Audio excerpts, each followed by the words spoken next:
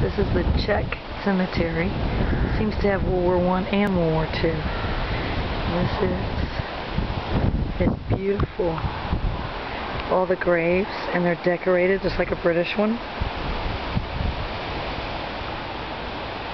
So it's got World War Two and apparently World War One. Right across the street from the Poles